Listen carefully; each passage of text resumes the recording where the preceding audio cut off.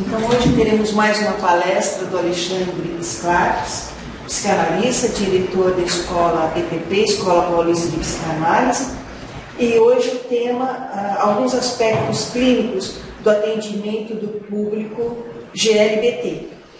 Ah, gostaria de aproveitar e informar para vocês, deixar registrado, que no nosso site já estão abertas as inscrições para o atendimento social. Tá? Já estamos com as inscrições abertas. Fácil de localizar ali no site, completar os dados para já começar o atendimento, tá bom? O pessoal já está preparado para iniciar então esse atendimento. Aproveito também para agradecer mais uma vez a livraria, a Martins Fontes, que mais uma vez nos recebe aqui, e a presença de vocês. Sem, sem vocês esse evento não aconteceria e o público que depois vai assistir esse encontro gravado, tá bom? Obrigada. Alexandre, com você. Até mais. Som. Olá. Olá. Bem, queria passar eh, dois, dois vídeos. Eu descobri esses vídeos agora, sábado. E eu achei interessante para o tema que a gente vai abordar hoje.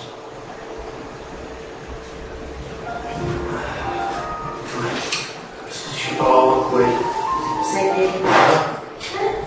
homossexual. Virou um monster, né? Mãe.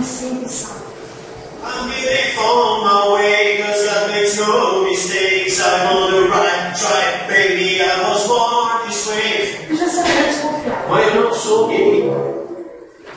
Eu sou boy. Deixa eu explicar. Sabe quando dizem que uma coca é fanta? Você é fã? Não, eu não sou fanta, eu sou coca. Você Não namora é coisa de viado, mas rola no máximo com com romance. droga e com romance. Droga, mano. Ah, meu Deus, peraí. Eu vou explicar. Ah, eu curto mina. Então você é Só que, de vez em quando, se eu tiver com o brother, pegou? Não, peguei. Não, mãe, não senhora pegou com o brother, a senhora entendeu. Bissexual, filho. Não, Ó, você nunca com isso. Tá vendo? Não, não tem problema não, olha. O seu pai teve uma vez. que? Não. Você pode casar com mulher, mas transa com um homem. Mas não pode ser chamado de viado. Nunca. Galã de novela das oito. Mãe, olha é o seguinte, eu posso me relacionar com homens, mas eu não, não posso. Que falar isso é no kibe. Dá é no kibe, mãe. Casacar o boquete, queimar arroz, cara, na rede TV, porra, janta, o povo maia, sem carregar no pacote. Isso aí, entendeu? Lá na Casalhada Podcast eu te entendi. Eu queria saber quanto era que você tinha cada puta. Da última vez eu sou gay, sou hétero. Ah, então, Goi é uma pessoa heterossexual curte homem, mas não, não faz sexo anal. É isso. Eu sou Goi. Você não é mãe, você é goia. Não, Goi é o pintor. Não, o pintor goia não é goia. Não significa pinte com o meu pinto. Sem graça. Trocadilho horrível. É, trocadilho essa história toda de Goi, viu? Olha essa bunda logo,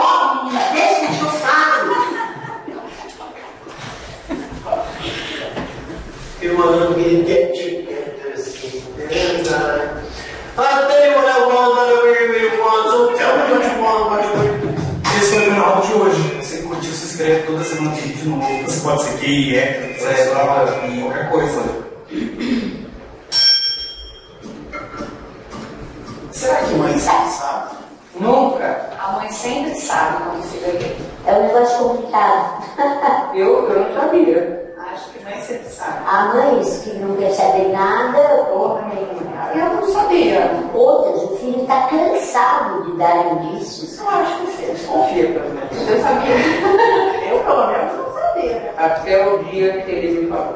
Você desconfiava? Nunca desconfiei. Eu tenho um filho que é ator, não é gay. Tenho um filho dramaturgo, não é gay. Tenho um filho músico, não é gay. Ele é professor, e é. Eu já desconfiava, né? Falava pra ele, Fê, você gosta de alguma menina? E ele gostava de fazer roupinha com cavaleiro do zodíaco, tinha uma boneca com cabelo, eles estavam mexendo. Não sei como é que apareceu aquela boneca.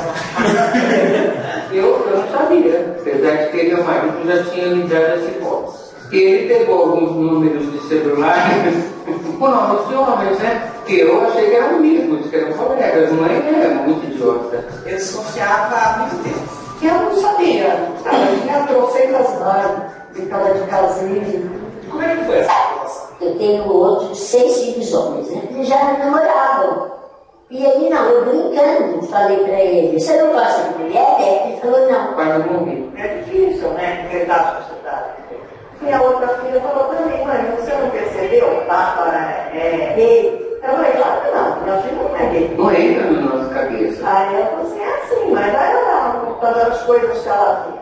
Eu comentei com a minha filha mais velha, e ela brigou comigo, falou que não, que não era. Tudo bem, filha, mas eu tenho certeza que ele é. Um dia ela falou, você quer saber, eu sou assim, se você me amar, vai ser assim mesmo. Primeiro eu não aceitei. Nós somos criados para ser, sermos homem e mulher. Então o amor de vocês é difícil da gente entender. Pensava, poxa, como é que você sabe que você é lésbica se você nunca beijou ninguém? Eu já penso, pô, eu também sou hétero nunca deixei uma lésbica. E ela não dizia pra mim que eu não entendi. Eu falei pra ela, você acha que a mamãe não vai entender por quê? Porque não é ele, é ela? Minha reação foi essa. De abraçar e falar assim, pode contar comigo pra tudo. Um podia ser contra ele, mas ele ia brigar e ficar sempre lado dele. É difícil para vocês, né? Mas é amor. E agora eu acho lindo, né? Eu tenho um gênio maravilhoso. Como seria o ideal? Como seria o gênio ideal? O gênio ideal, o cara do meu filho, né? Eu brincava um tipo de fala, né? Quem ama meu filho, minha boca doce. Gostou de qualquer filho meu, já me ganhou. Uma pessoa honesta, batalhadora como ele. Ele me respeita, gosta de mim, me dá presente. Eu adoro de presente. Eu acho que o Wagner tá ótimo. Mas eu gostaria que os pais desse gênio aceitassem o filho como eu e meu marido aceitam o Fernando. Não tem outro jeito. É, As mães que não aceitam os filhos, elas estão perdendo tempo. Primeiro mandamento é ame ao próximo como a si mesmo. O amor é o mais importante que tudo. A criança negra, ela corre para o colo da mãe quando ela é desprezada, xingada na escola. O filho gay, ela é não pode fazer isso. Correr para o colo da mãe e falar, mamãe, me xingaram de viado. O gay não tem pra onde voltar. Isso é de uma crueldade que não, não, não existe. Eu adoraria que todas as mães tivessem a consciência de ter um lar seguro, os seus filhos. O que você quer do seu filho para sua filha? Eu quero que o meu filho, a minha filha, seja feliz. O que dizer para esses famosos que dizem que não querem ter um filho? Mandar um recadinho para as mães que dizem que nunca querem quer ter um filho gay. Melhor do que ele foi criado, nenhuma Cláudia Leite vai o dela. Não tem diferença nenhuma. Eu não vejo essa diferença. Filho gay, filho ser não ser gay, não ser gay. Não tem. Esse é meu filho Fernando, ele é gay, eu tenho muito orgulho dele. Eu vou mandar um beijo especial para a Joelma. E nem Isabela Fontana, como é que é? Pode falar, porque senão você é processado. Beijo pra casa dele. Beleza. Por que ela não um filho gay? Ela não sabe que é o amor verdadeiro, talvez. Ele é incrível, meu companheiro, meu melhor amigo e ele. Eu amo demais. Beijinho, Cláudia Leite. A norma do mundo é a diversidade. Eu penso que basta elas olharem em torno delas com olhos de enxergar. Cada vez. Beijo bom para vocês. Recalcada de plantão. E a diversidade feita o mundo. Se não tivesse isso, esse mundo ia ser muito chato, muito horroroso. Chato, chato, chato. Qual o lado bom filho gay? Melhor lado. Existe muito. É, é uma, um se abre pra gente, né? Você sendo a mulher da vida dele, não tem susto. Eu já fui umas três vezes balada gay com ele. Não tem problema de ninguém me encantar. Eles são muito sensíveis, são pessoas demais. Eu acho que os gays, é, eles têm, por exemplo, turma, ter uma vida social maior, certo estado, família fica, né, daquela família e tal. Mas os gays não, continuam ali. Primeiro, uma vantagem especial. Quem tem mais me ajudado é meu filho dramaturgo. Ele fala para mim, psicamente também para você, e ele é. Eu falo pra ele, Fernando, olha o que tá vindo ali. Aí já fala, mãe, já tô de olho faz tempo. Aí a gente cai na risada, é muito bom. A gente assiste novelas juntos. Eu não amo muito futebol. Se eu soubesse o quanto é bom ter um filho como ele, ele devia ter me dito isso há muito mais tempo. Cresci como ser humano. Assim, eu deixei de ser preconceituosa. Acho que foi melhor. E esse foi o vídeo foi na inscreveu. Esse cara tá inscrito.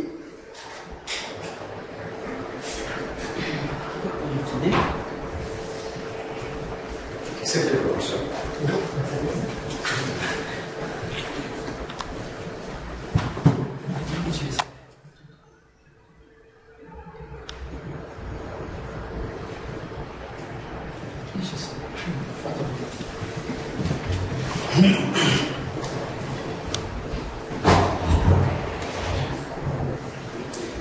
Então,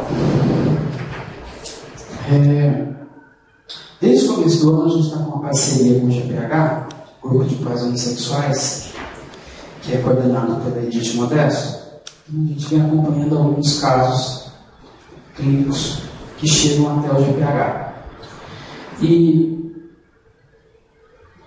alguns fenômenos que ocorrem nessa, nessa nesse atendimento me chamaram a atenção. Então eu queria dar os três, dois ou três fenômenos e depois fazer uma construção teórica é, do que pode estar acontecendo, é uma mera construção teórica, e de quais seriam os recursos ou,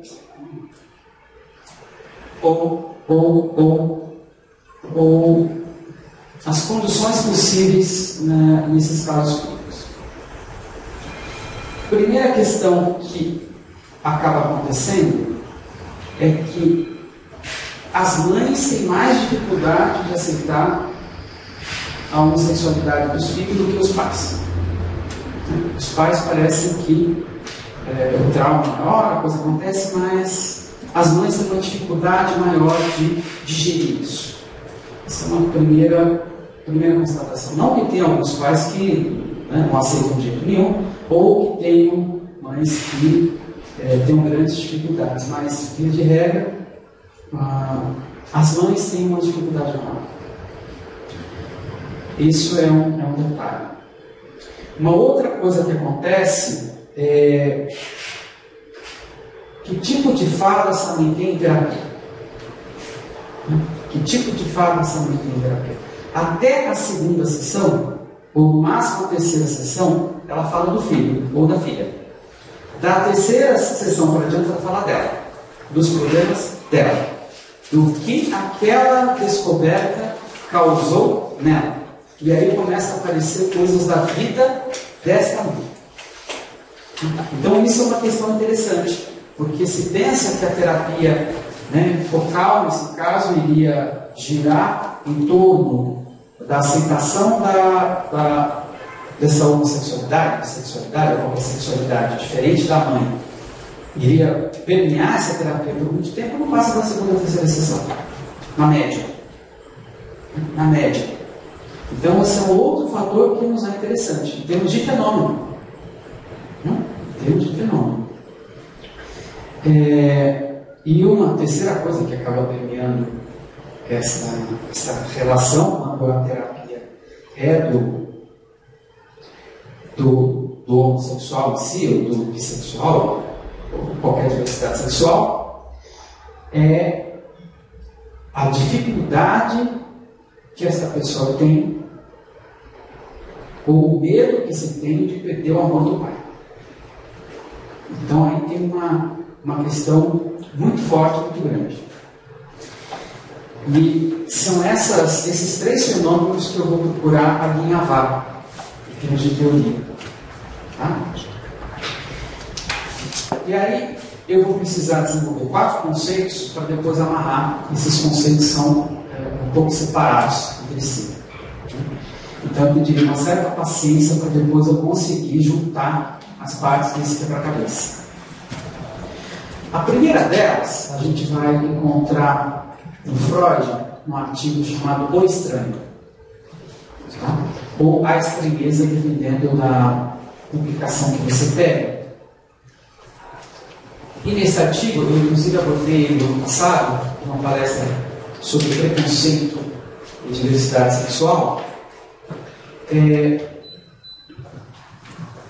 o Freud nos ensina que, segundo o modelo freudiano, todo ser humano é, é, possui uma bissexualidade constitutiva.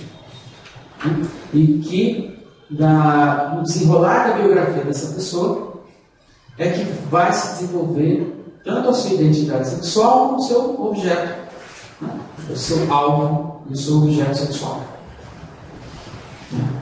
Então, é, este é um conceito. Agora ele traz uma questão importante, que é o seguinte: onde é está o ponto de equilíbrio dessa sexualidade constitutiva, segundo ele, é no complexo de Édipo. Né? Ele vai localizar no complexo de Édipo um ponto de equilíbrio nessa constituição sexual que permeia qualquer indivíduo, seja hétero ou não importa. E que esse ponto de equilíbrio ele é frágil. Ele é extremamente frágil. Ele não é um, um, como se imagina uma.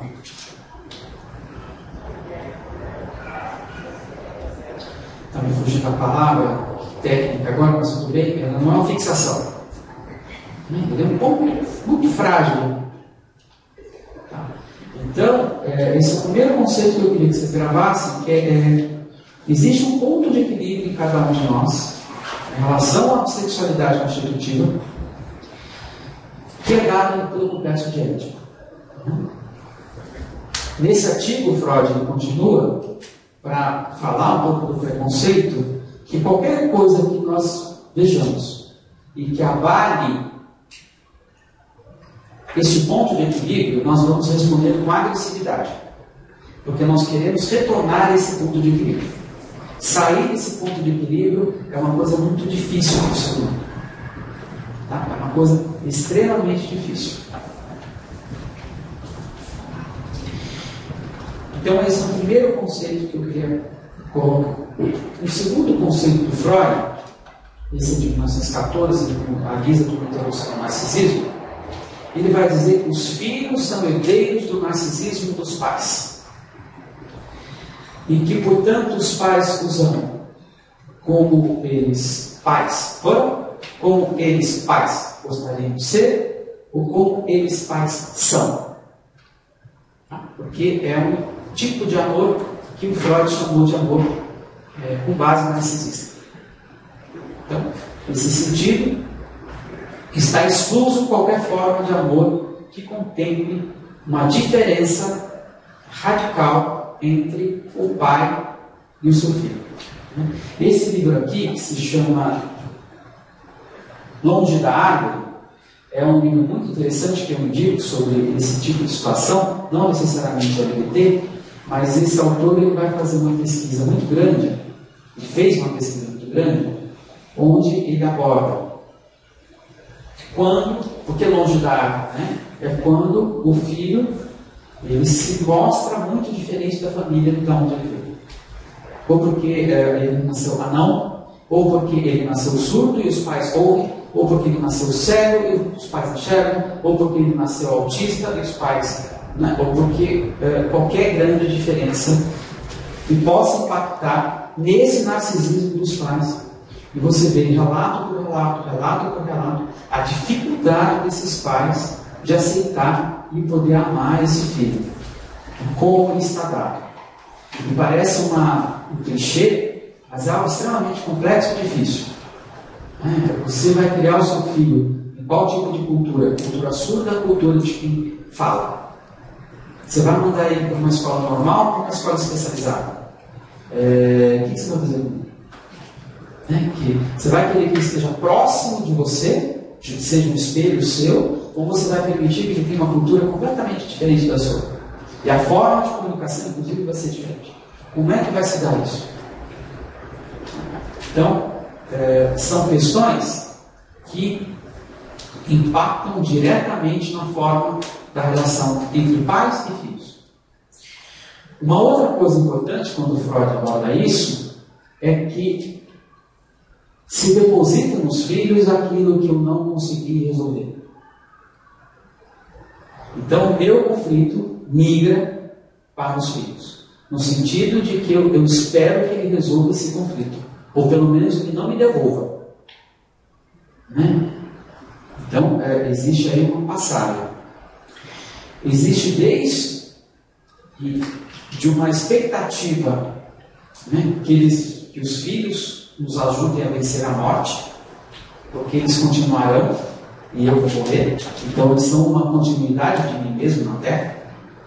Né? Então, como herdeiros desse narcisismo, cabe a esse filho manter a minha linhagem, me manter vivo ao longo do tempo. Se vence, né, psiquicamente se procura vencer a morte através do nascimento de um filho. Então, é, essa é uma outra estrutura interessante quando a gente fala que os filhos são os herdeiros do narcisismo dos pais. Porque narcisista que é narcisista não quer morrer, não vai morrer. Detesta essa palavra. Né? Então, ele, ele, como ele é o herdeiro do narcisismo, ele tem manter essa linhagem viva de forma que eu me mantenha vivo. Né? Então, aqui nós teríamos uma uma outra uh, grande dificuldade em relação a esta passagem, né, a este ponto.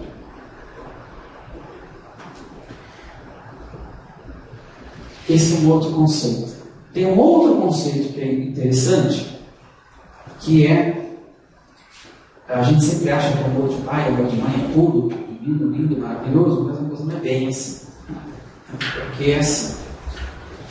É, existe entre várias formas de relação, uma que diz assim, né? é como se os pais virassem para os filhos e dissessem, seja o herdeiro do narcisismo, e eu te amarei.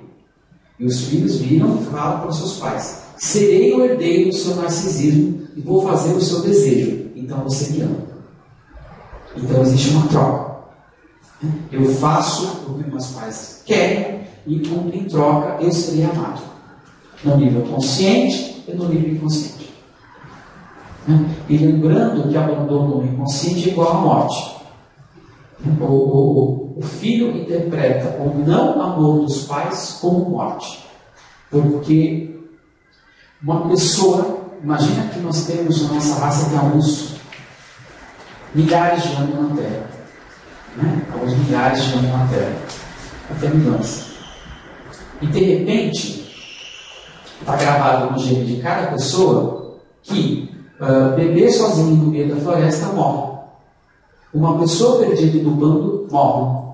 Uma pessoa separada do grupo morre. Porque é assim funciona na natureza. Então, uh, estar dentro de uma família, estar dentro de um grupo, nosso inconsciente entende como vida. Estar separado ele vai entender como morte. Então, nesse sentido, não corresponder ao desejo dos pais é a mesma coisa do que ser excluso de algum grupo. E é e isso interpretado como morte. Então você tem aí uma, uma, uma passagem extremamente interessante entre do, do, que a gente chama de transgeracionalidade. De transgeracionalidade. Observe que eu disse há pouco que existe um ponto de equilíbrio na bissexualidade de cada um. E eu não disse que é, este ponto de equilíbrio ele não é o ponto de equilíbrio de um conflito, pois ele é um ponto de equilíbrio de um conflito, ou de vários conflitos, ou de várias questões. E eu espero que essa próxima geração resolva, né, resolva esses vários conflitos e me permita que eu vive eternamente. Então tem, tem, tem várias camadas aí entre uma geração e outra. Várias camadas entre uma geração e outra. Quando você é minimamente é, parecido com seus pais, a coisa fica mais calma. Porque aquele ponto de equilíbrio ele foi enviado, ele não precisa ser abalado, as minhas questões foram passadas, o outro aceitou essas questões, então isso não retorna a mim. E esta outra pessoa, de alguma forma, vai dar continuidade à minha existência. Ou seja, vai gerar filhos. Então, uh, neste jogo tem bastante coisa, tem bastante regrinhas estão ocorrendo ao mesmo tempo. Se a gente for analisar o complexo de ética do homem e da mulher, a gente vai ver que basicamente a teoria é masculina. Basicamente a teoria do ético é uma teoria masculina, mas não é uma teoria é, feminina. Né? A, a, questão do, do, feminino vai para a derivação. Né? Como homem é assim, para a mulher é assado. Você não tem nenhuma teoria, na minha opinião, suficientemente é, robusta que possa dizer que, ah, não, essa teoria explicou a mulher. Então, Freud morreu dizendo que não entendeu as mulheres. Né? Então, isso eu vou tentar, mas o ponto é, tá? do pouco que a gente sabe sobre a psicologia, sobre a questão da constituição feminina, é que eu diria assim, com muita reserva, essa palavra que eu vou usar, ela é mais líquida do que a do homem. A do homem parece ser mais estruturada, no sentido de que é, a do homem pareceria mais um, um prédio e a da mulher mais uma piscina mesmo. Né? Então, aqueles elementos estão um pouco mais soltos na mulher. No homem, eles estão mais rígidos. Né? Lembrando que rigidez demais quebra né? e soltura demais esfacela. É, isso é só. O, o, Freud mesmo vai dizer, por exemplo, na constituição do super feminino, ou na saída da, da, da mulher do complexo de ética, ela se dá por desistência.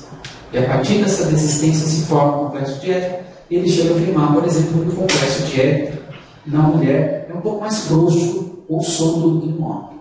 É uma visão freudiana de época.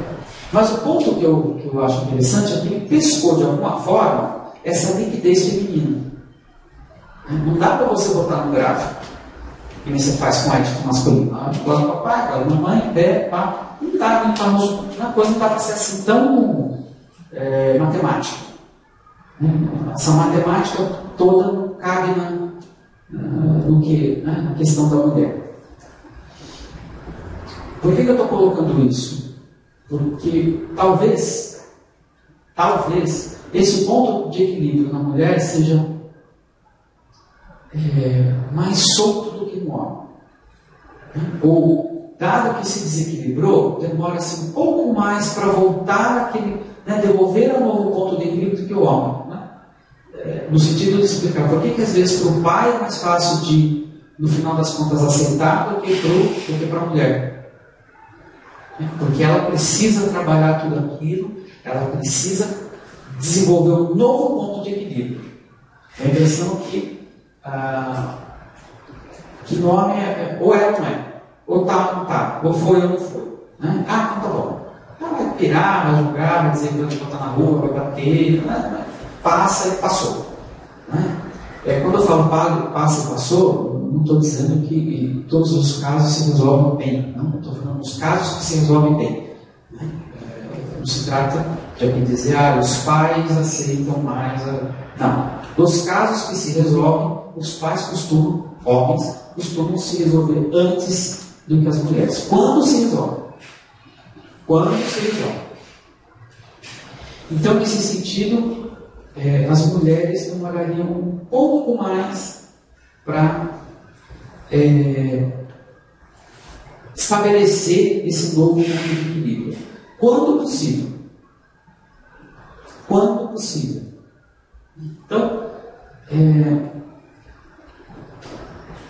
a homossexualidade, quando você começa a pegar essa montanha de casos, de anões, de autistas, de surdos, de cegos, onde o fruto cai da árvore, no caso da homossexualidade ou da diversidade sexual, a impressão que nos dá é que isso bate com mais violência no psiquismo da mulher. Primeiro dos pais como um todo. Dos pais como um todo. E aí a grande dificuldade desse, desses pais. Então você não está só recebendo um pai que você pode falar para ele sobre preconceito. Pode ser tem preconceito. Não é isso. Isso é uma, né, é uma parte da emoção.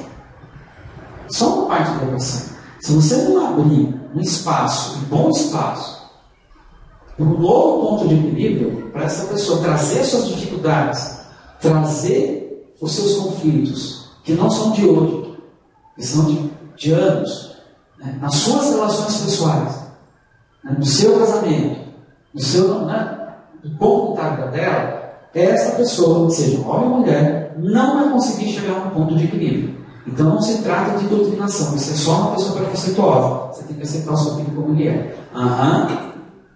Aham. Né? Eu faço agora o que com o meu complexo de reativado? Eu faço o que agora com isso aparecendo na minha frente? Com essa angústia que se formou dentro de mim.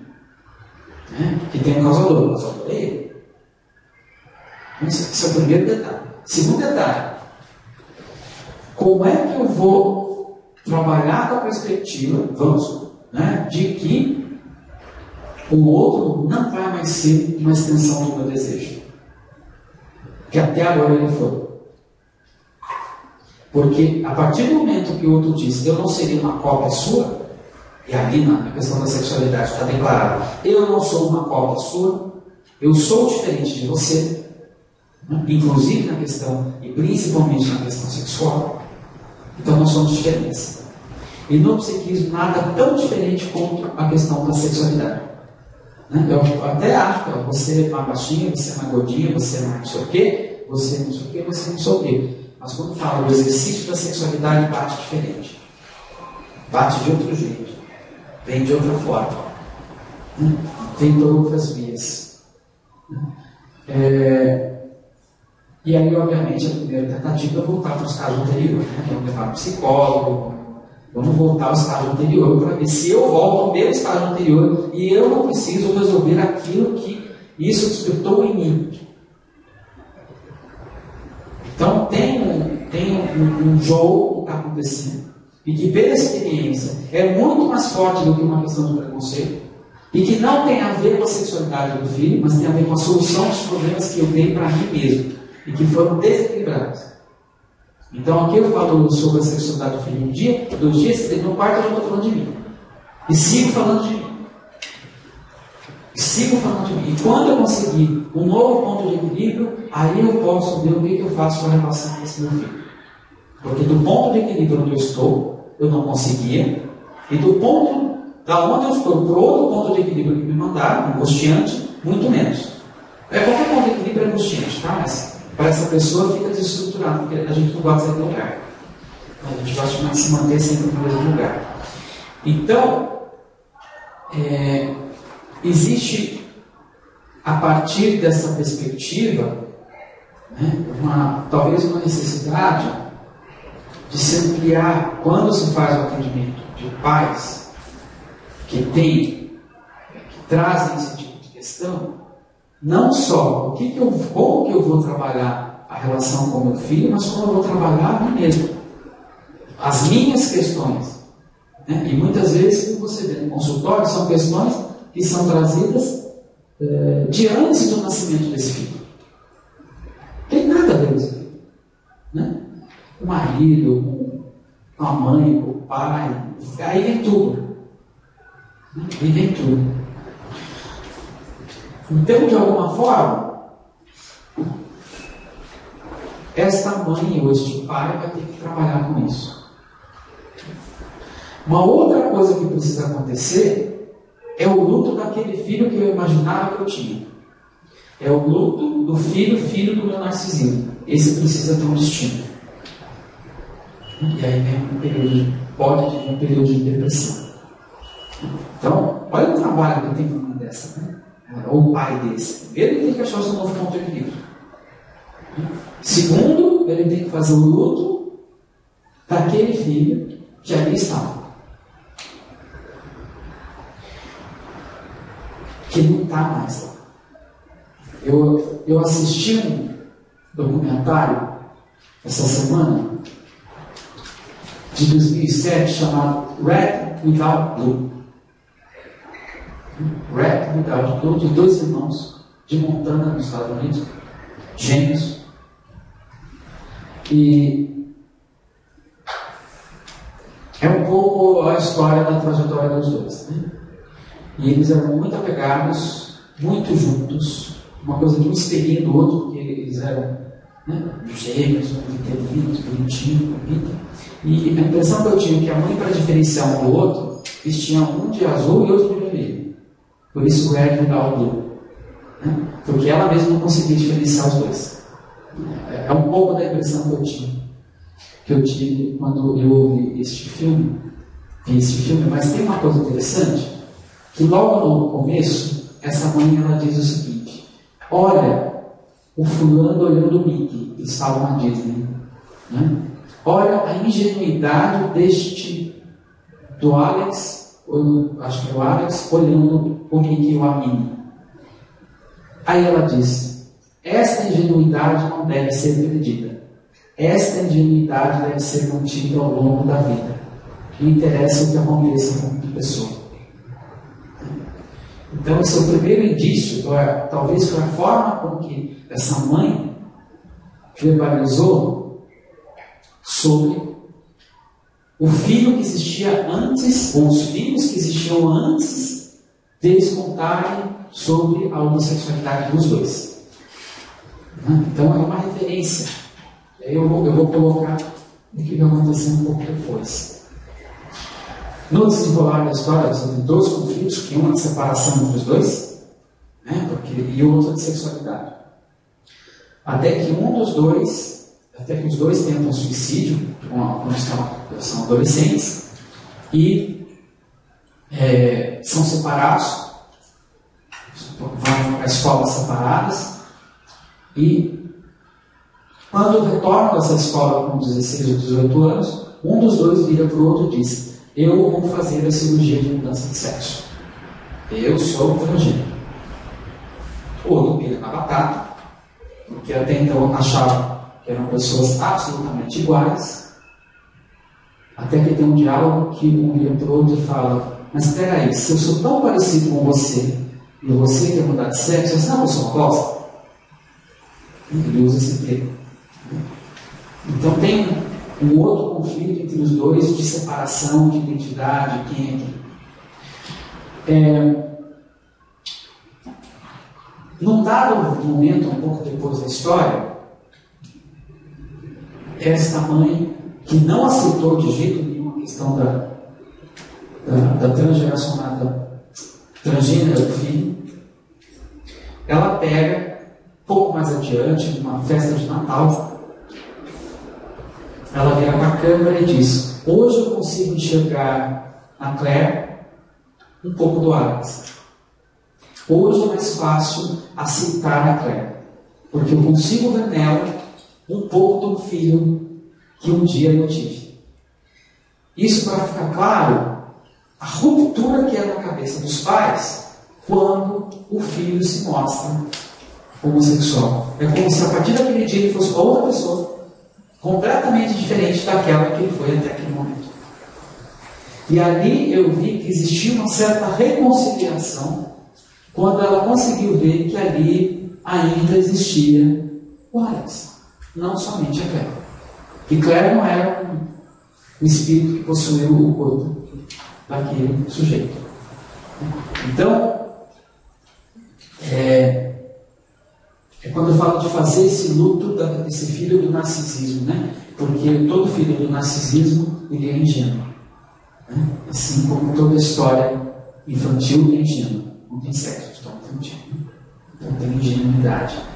Então, por si só, é infantil. É, e aí vem outro detalhe também, né? quando se coloca a questão da diferença do exercício da sexualidade entre pais e filhos, essa ingenuidade foi para de qualquer forma. Ali não, né, não dá para. Não tem como de ficar claro, bonito, preto e branco. Você é você, eu sou eu, sua sexualidade é assim, a minha é assim, e por um acaso já estou exercendo. Então tem um choque? A, a, morte da própria ingenuidade do filho. Então você tem um filho que era o filho do narcisismo, você tem um filho que está na ingenuidade, você tem um filho antes. E esse precisa, de alguma forma, ceder lugar ao filho que ali está. Ou seja, tem que ser feito um luto dessa imagem, dessa fantasia. Aí vem uma questão do lado dos filhos. Né? Isso é muito recorrente no atendimento. É não conseguir. É, tem, existe uma. Acho que foi falado, né? Acho que não, mas sim, sabe agora de uma filha que virou para a mãe e falou: Ah, eu sou, você vai ter que me aceitar, você vai me aceitar e você vai me reclamar de qualquer jeito. Não é bem assim. Não é bem assim. Porque você abalou, né? Ali se abalou muita coisa. Então não dá para você é, exigir neste momento que o outro esteja inteiro para te dar o amor agora que você o quer. E você o exige e você o demanda. O outro precisa de um tempo para isso. Não para te aceitar, mas para se reconstituir. Não se trata tanto aqui de uma questão de preconceito que existe, não que não existe, que atrapalha, atrapalha, que dependendo do meio social isso é uma coisa muito difícil de vencer. Não estou colocando isso. Mas tem uma, um nível né, do inconsciente que está ali e precisa se reorganizar. Você tem tempo para se reorganizar. Né? Então, existe uma fantasia né, dos filhos de que os pais vão, ah, de alguma forma, amá-los incondicionalmente. Não é essa a coisa. Tem uma condição para ser amado. Sempre tem uma condição para ser amado. E paralelo a isso, paradoxalmente, é isso, eu tenho um medo tremendo da perda desse, desse amor. Né? Porque, como eu falei, longe da família, na floresta, é igual à morte. Então, perdeu uma paterna igual à morte, perdeu uma materna igual à morte. Então, é, paradoxalmente, existem esses dois sentimentos. Meus pais vão me amar incondicionalmente, eu posso perder o amor dos meus pais. Então, aí existe uma dificuldade de se chegar a um ponto de equilíbrio com esses pais e depois no próximo de um novo ponto, próximo de um novo ponto, próximo de um novo ponto, e se reconstruir isso se reconstruir, não no, no de que, olha, alguma coisa errada aconteceu, não, mas alguma coisa que balançou o psiquismo do outro. E que o outro não estava esperando. Né? Eu vou fazer um paralelo aqui, pensando da questão da diversidade, porque foi uma fala que me. É um personagem que me chama muita atenção no Game of Thrones que é o anão. Né? Tem um, um dos filhos do Lannister é um anão. Então, né, o cara tem um, um menino, né, um cara adulto, a rainha e o anão. E a mãe morreu no parto do anão. Acho que é Twin, uma coisa assim, nome dele, do nome dele. Mas no último episódio, eu não vou ficar aqui escrevendo como funciona o Game of Thrones, mas de qualquer forma, este anão virou por pai falou: Eu já fui condenado desde que eu nasci. Você nunca me perdoou por ter matado uma mãe desse anão. Então, é uma situação que não se dá, falando aqui do do LGBT, mas por isso eu trouxe esse livro longe da água, porque é uma situação que se dá com qualquer tipo de filho que caiu longe da água. Se é anão, se é surdo, se é cego, né? O que é que eu vou fazer com aquele filho que eu idealizei quando estava na minha barriga? O que é que eu vou fazer com aquele filho que eu sonhei que eu, eu iria ter? Eu vou fazer o que agora? Não é vida aqui.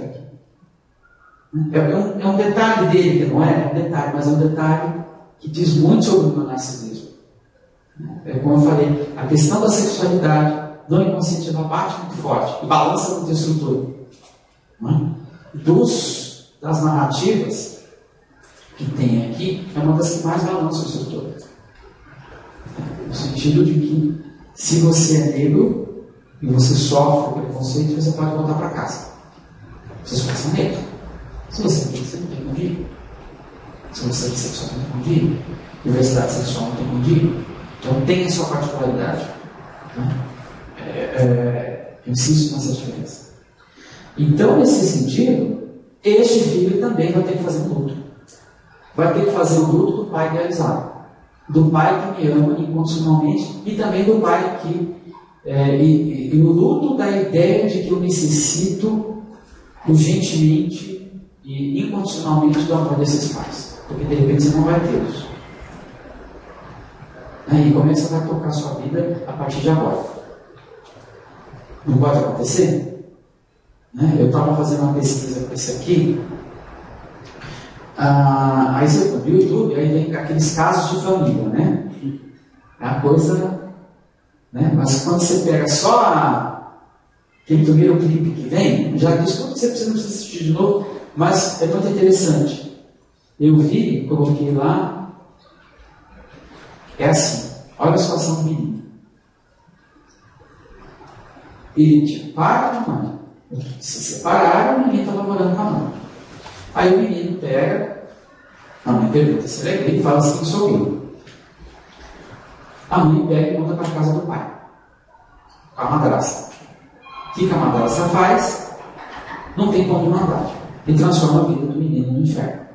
É porque não dá para devolver para a mãe, porque a mãe já mandou para o pai. É, então, isso é só um exemplo de inúmeros que a gente pode dar, até de põe para fora de casa e fica sem casa. E essa, essa pessoa vai ter que fazer alguma coisa com isso. Ela vai ter que ser forte o suficiente para fazer alguma coisa com isso. Então, o luto, inclusive, de como seria minha vida sem isso, vai ter que ser feito. Ah, se eu não fosse gay, minha vida seria mais fácil. Essa vida não é. Você vai ter que fazer o luto disso e a partir desse presente, a partir dessa perspectiva, você vai ter que construir um novo futuro. E aquele velho, se não sei o que você vai fazer, mas ele não existe mais.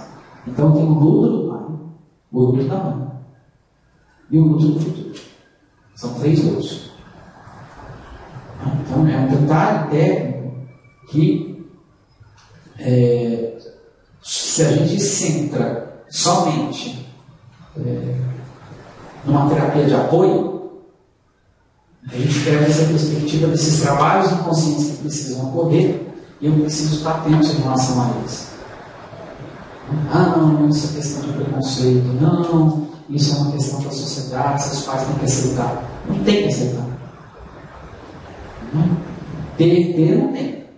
Né? Então, assim como o pai não tem que aceitar seu filho seu, compre um carro em casa, ou pinte o quarto de cor de rosa, ou pinte o quarto de preto. Não tem que aceitar tudo.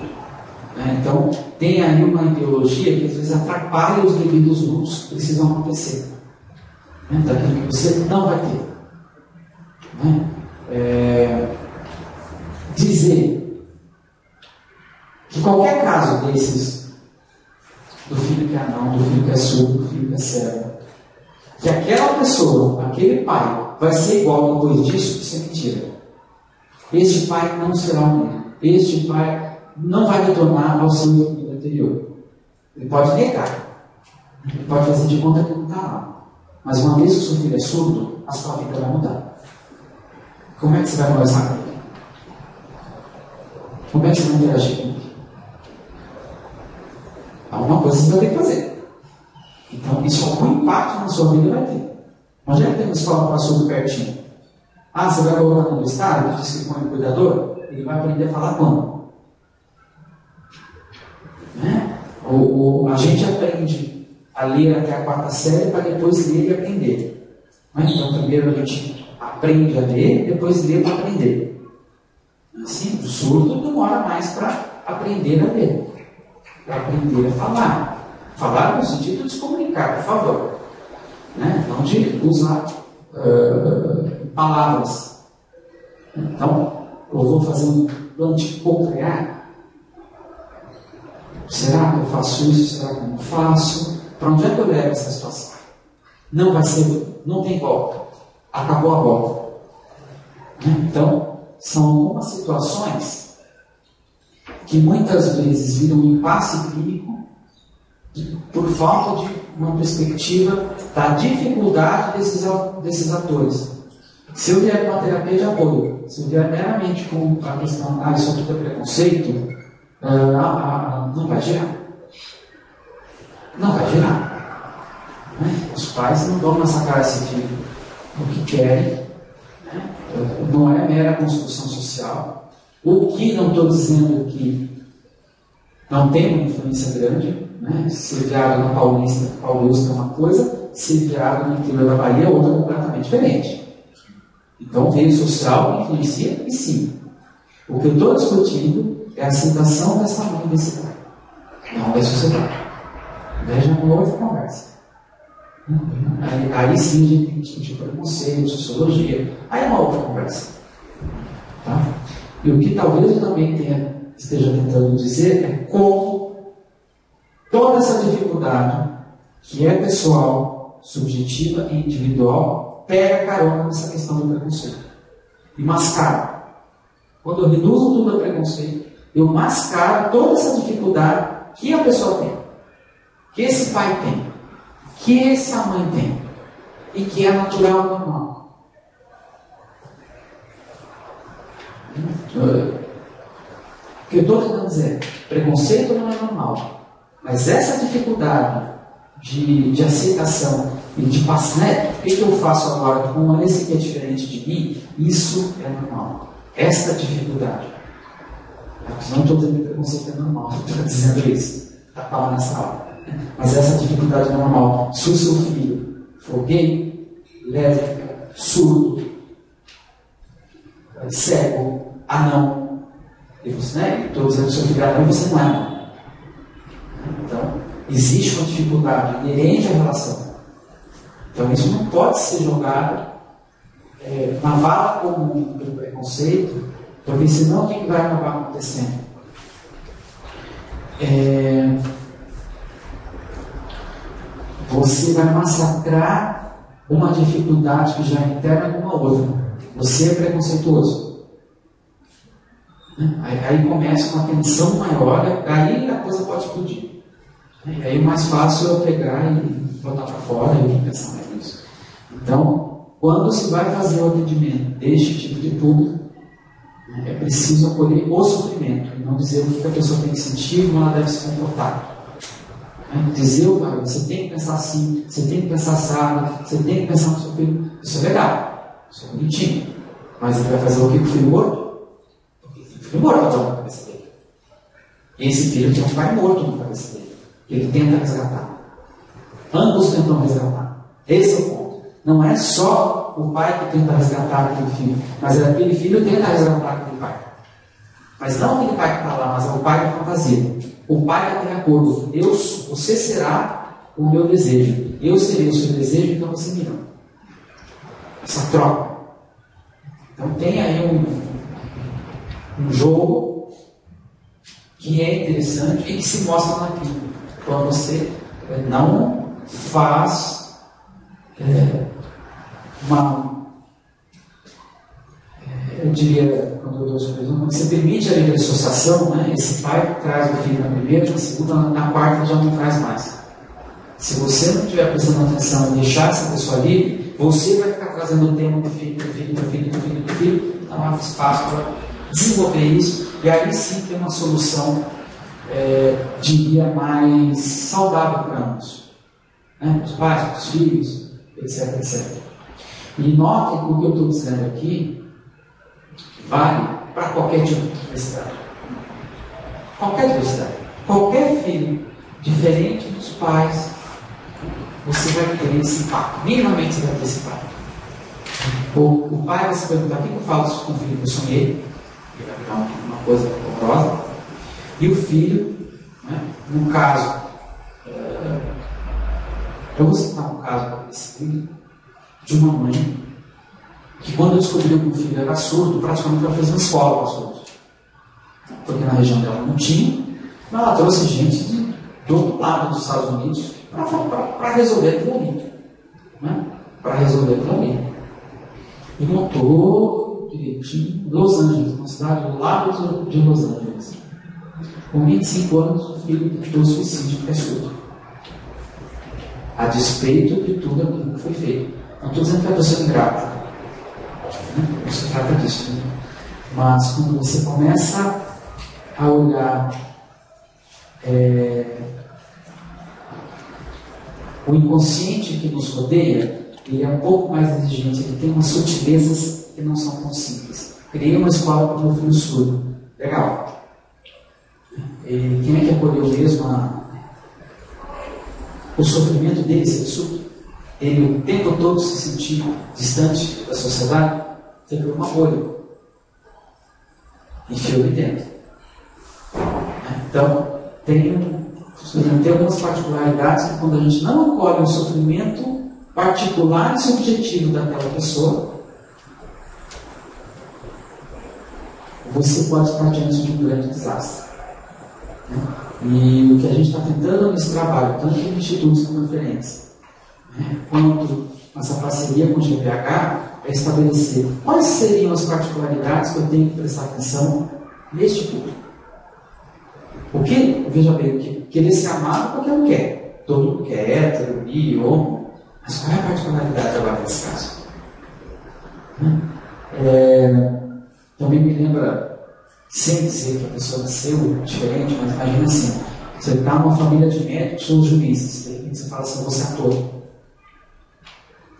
Ah, você não é ator. Vai ser a mesma coisa. Esse pai vai ter que fazer o luto do filho médico. É, para algum lugar. Eu lembro de um atendimento que eu fiz que a família era de médicos, aí tinha uma moça, estudou medicina, ela só começou a ter surto psicótico na residência. Ela queria fazer medicina. Aquilo não era dela. Né? Então, é, muitas vezes, quando eu pago o preço para ter um amor paterno, isso também, às vezes, pode sair muito caro. Né? Sai muito caro. Então, são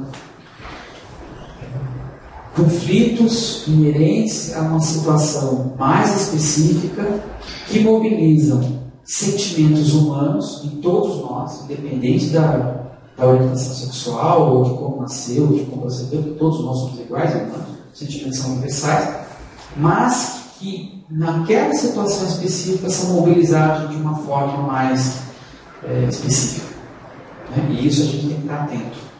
Né? É, e tem uma armadilha do politicamente correto que às vezes taxa certos sentimentos como incorretos nesse sentido. Né? O pai pode sentir, o pai deve apoiar emocionalmente a orientação sexual de menos. Né? Então, aí você taxa de preconceituoso, de não sei o quê, menos.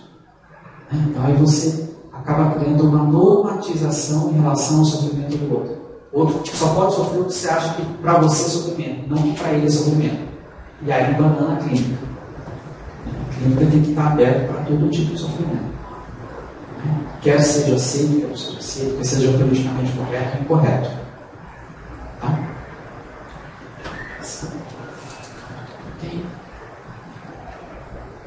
Eu acho que é isso.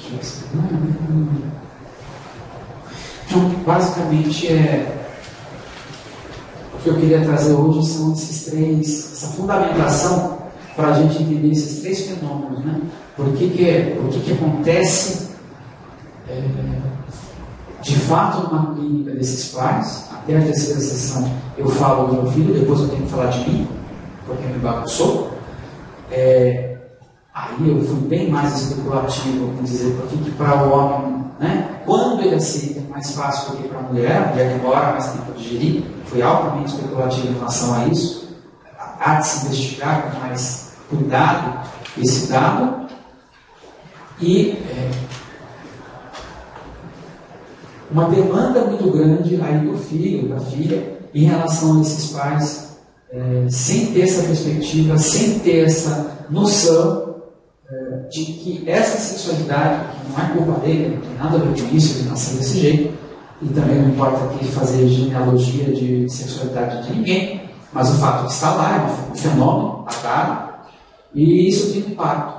Né? E em relação a isso, muitos lutos vão ter que acontecer nesse parto, né? esse, nesse trio né? de pais e filhos. Né? Esse conjunto todo, muito luto vai ter que rolar. E muitos novos pontos do equilíbrio vão ter que ser, né? vão ter que ser chegar. E às vezes isso precisa de tempo. Isso precisa de um certo tempo para acontecer.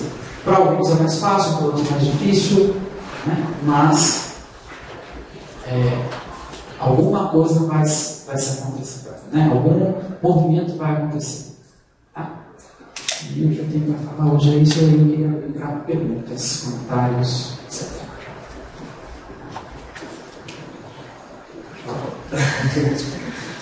É, uma coisa que eu achei interessante.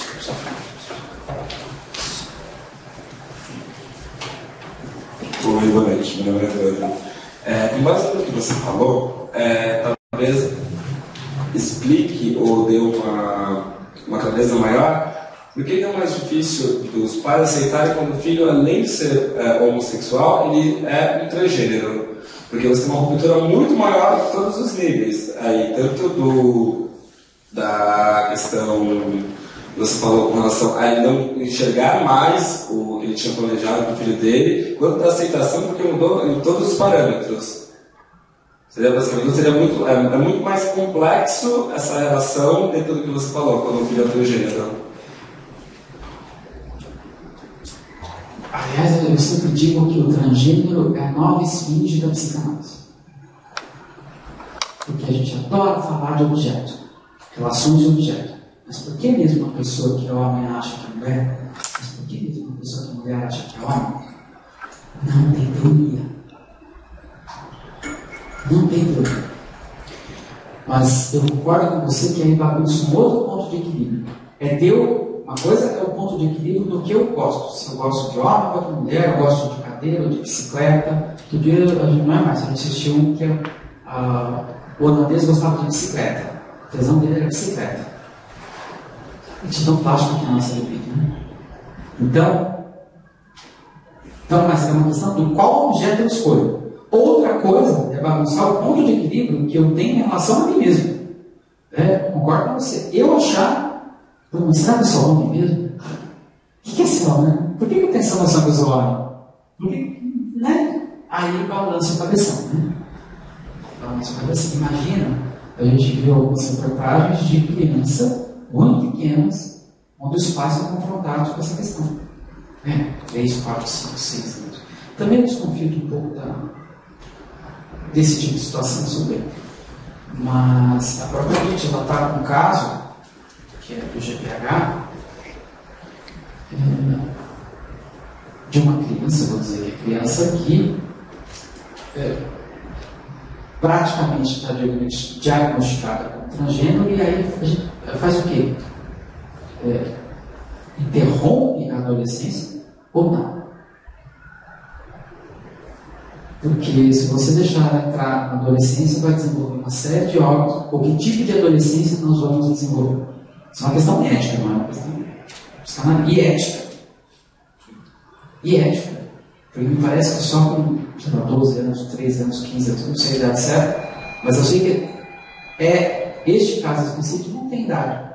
Ou seja, você só teria idade para iniciar um tratamento hormonal quando o tratamento hormonal ele, ele, ele, ele poderia ser um desenvolvimento mais normal. Então você espera desenvolver para depois você fazer a troca. O que é uma coisa meio doida. Né? Então você espera a pessoa virar um homem para depois transformar em uma mulher. Ao passo que se você fizer de uma vez só, né? da criança para a mulher tem uma passagem mais suave. Né? Você não desenvolve um de Adão, né? você desenvolve isso, desenvolve aquilo. Você segura um pouco mais tudo isso. Tudo uma questão ética. Mas o, o, o transgênero, na minha opinião, ele é um esfinge absoluto. Se, o, se a histérica é a esfinge do, do Freud, para mim o transexual é a nossa esfinge. Como é que a gente. E onde se dá uma coisa dessa, né? Uma criança de 4 anos, homem achando mulher. Onde se dá?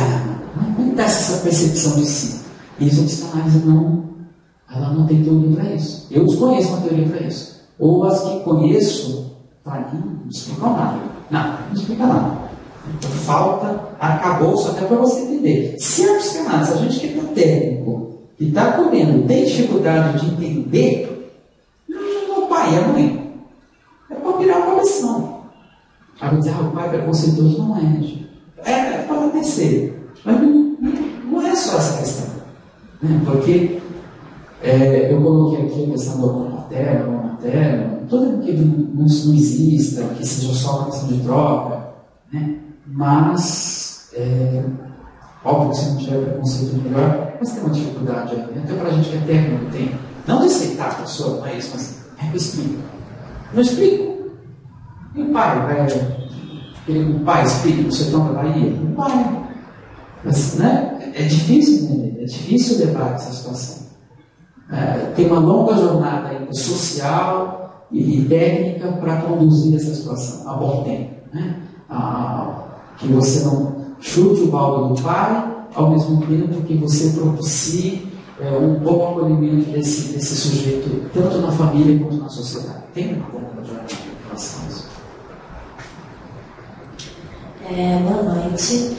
Eu achei bastante interessante quando você falou assim que ter filho significa morte, é, essa perda do amor paterno e tal.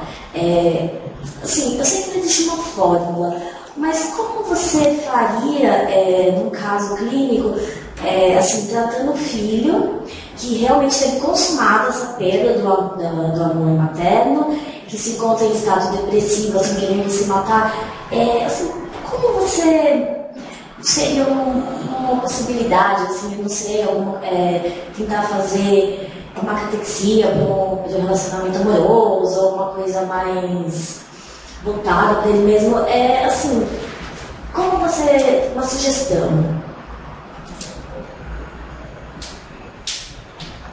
Vamos supor que, no outro caso, tá?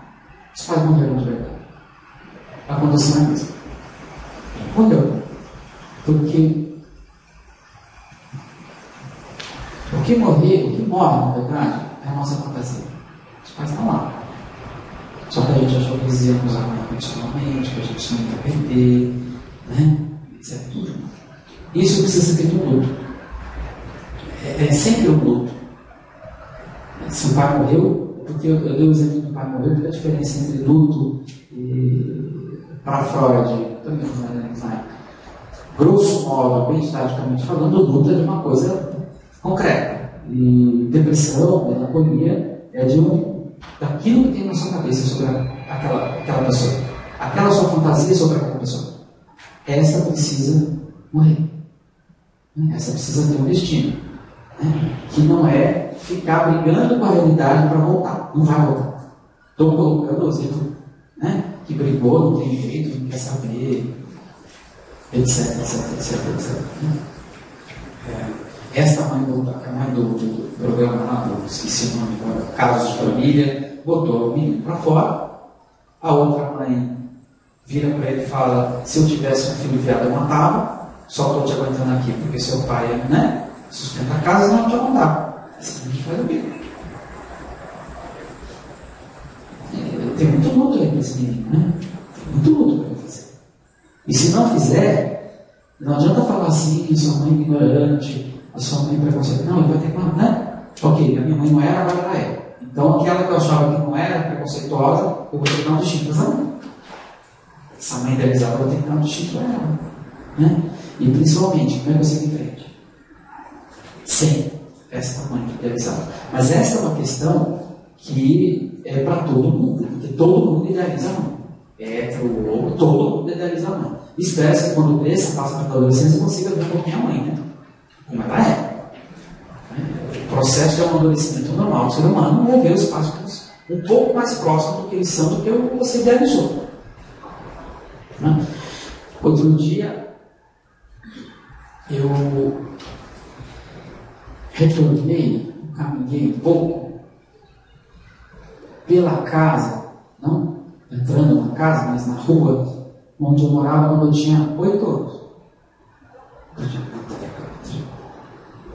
nada a ver com Sabe, as casas pareciam as mesmas, não estão o teto quase caindo, mas o quê?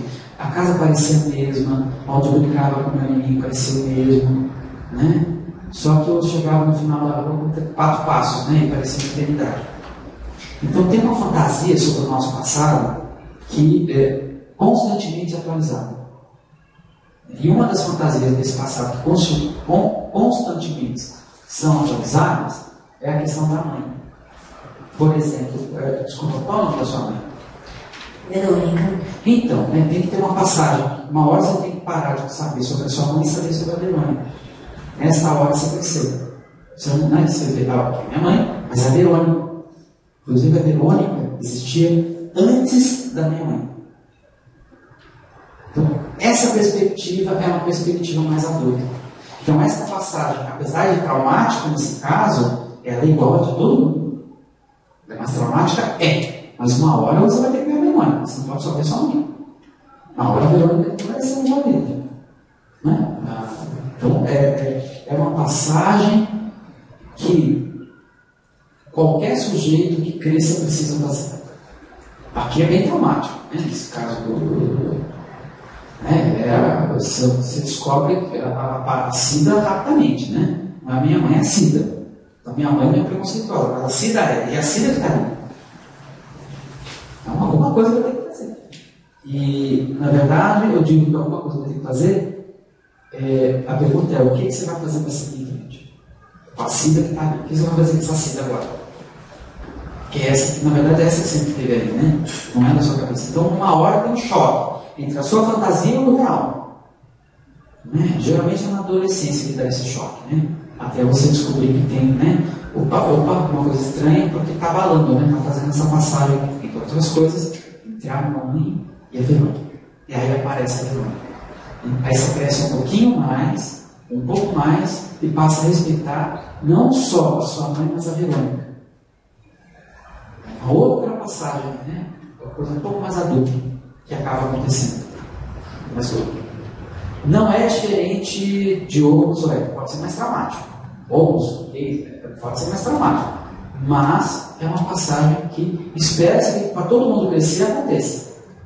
Né? Não dá para você estar com 40 anos e ainda dependendo de um paterno e materno para fazer alguma coisa na vida. Não faz nada. Alguma coisa está esquisita. Então, isso é, é universal. Pena que em alguns casos isso seja posto de forma tão abrupta, tão forte e tão. Né? Não é uma passagem mais suave, né? Uma adolescência. Adolescente tem 4, 5 anos para fazer essa passagem. Né? E aí, de repente, você pega uma adolescente e pumba, faz isso e acorda e já era. Né? Então, é, é, mais ou menos isso. Mas o trajeto é. Então, no fundo, todo mundo é igual. As soluções que esse cara tem que dar é a mesma que qualquer pessoa vai ter que dar. Ele não é especial por causa disso. Não tem nada de especial no sentido de que a solução que Deus vai ter que dar é mais traumático? É, não é especial. Que o torna diferente de qualquer outro ser humano. Não torna. Tá? Não é assim. Não, não, ele não é um ser humano diferente. Ele é ser humano. E podia acontecer se a pessoa perder uma perna no acidente. O que vai fazer agora? Né? O que, que eu vi? Beethoven ficou surdo. Não é? Beethoven ficou surdo. O que esse cara vai fazer? Ele não tem que fazer uma morte de um músico, ele tem que fazer uma morte de um músico. Então, não é só esse tipo de situação que nos impõe um corte. Né? A descoberta de um câncer pode nos impor um corte em relação futuro, ou mudar completamente a perspectiva de vida, dos seus valores, e o que você vai fazer com o valor antigo? Você vai ter que fazer algum luto em relação a eles.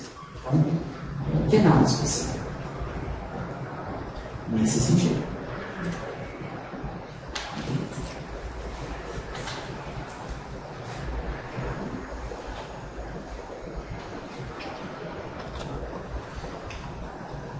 Então, se quiser que libera. É você termina, né? Você começou a se terminar. É claro, dá tchau. Contar para a próxima. Ah, não peguei a, não peguei a cola para a próxima. Cola também é. Então foi você. Então a cola. Não, aqui não estava tá na próxima. Terceira sexta de cada vez. Já está certinho? Já temos o tema? E tem esse? Tá. Então, é, na terceira sexta de de nesse espaço, seguindo essa sequência de, de palestras. Então, agradeço a presença de todos e na semana que vem, provavelmente no final da semana que vem, esse encontro também estará disponível é, lá no nosso site, tá bom?